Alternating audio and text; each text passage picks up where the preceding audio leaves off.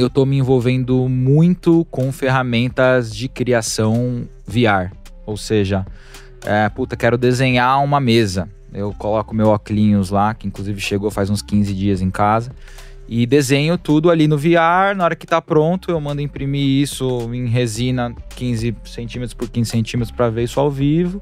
Faço mais umas alterações lá, imprimo de novo, aprovei e consigo imprimir ela inteira, né? Então, uh, eu sou apaixonado por aprender novas ferramentas, entendeu? Mês retrasado eu comprei uma máquina de costura e falei, cara, vou aprender a costurar. Fiz um curso de costura e as bags do.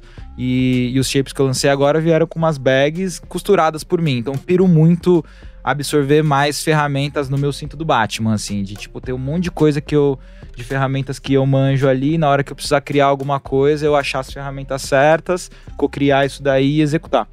E a ferramenta mais recente que eu que eu tô pirando e tô viciado é o aquele óculos da Quest 2 lá do Facebook, que a galera tem usado muito para jogo e tudo mais, mas tem umas ferramentas de criatividade para moda, para arquitetura e para as artes tridimensionais que são assim fantásticas, fantásticas em níveis absurdos, assim. Eu comprei o óculos achando que ia ficar meio limitado. Ah, não, esse negócio é meio novo, não vai dar para fazer muita coisa. Na hora que eu entrei num aplicativo lá que chama Gravity Sketch, eu fiquei tão ansioso, tipo, tão emocionado que eu fiquei ansioso. Meu coração começou a bater. Eu falei, caralho, olha quantas possibilidades tem aqui. Fudeu, tá Já ligado? tá no metaverso. E aí eu fiquei 18 horas com o óculos lá. No outro dia eu fiquei com náusea e insônia.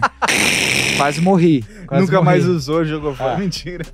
Quase morri. Mas eu acho que é um pouco sobre isso, assim. Não, ah, vou criar uma exposição online. Eu acho que isso tá um pouco distante ainda. Ah, vou criar uma exposição online para cada um que tem o seu VR colocar. Vai acontecer, talvez três anos. Uma hora. Te assusta, te muito. empolga ou te intriga essa tecnologia na arte? Me, me intriga e me empolga.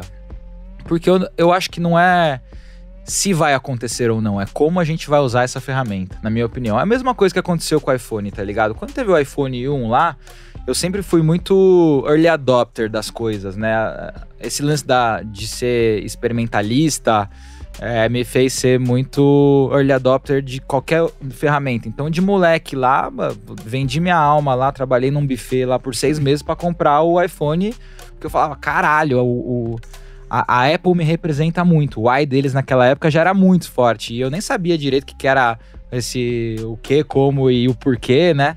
Uh, mas sentia aquele negócio, eu preciso ser isso, isso faz parte da minha identidade.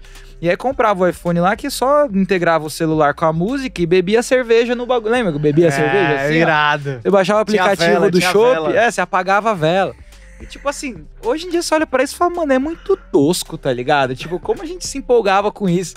E eu vejo a mesma coisa com o VR, por exemplo. Tipo, já, já passou a parte da vela. A parte da vela era há três anos atrás, quando o VR era ligado a um computador, tinha um fio lá e era tudo embaraçoso. Hoje não, eu levo pro meu ateliê o VR, coloco igual um fone sem fio, pum, uso lá por quatro horas, põe na minha mochila, volta, é um, é um gadget, tá ligado?